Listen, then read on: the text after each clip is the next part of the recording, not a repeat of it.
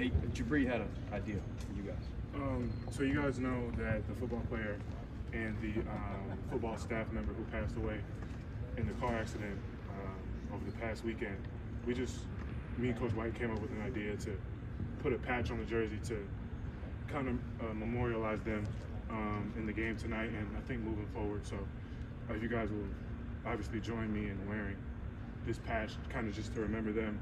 Um, you know, he was my friend, and me and Kario kind of know him. And obviously, the university is going through something right now. So just to kind of show our support and, and memorize him or memorialize him and show support for his family, we're going to do this uh, tonight in the game.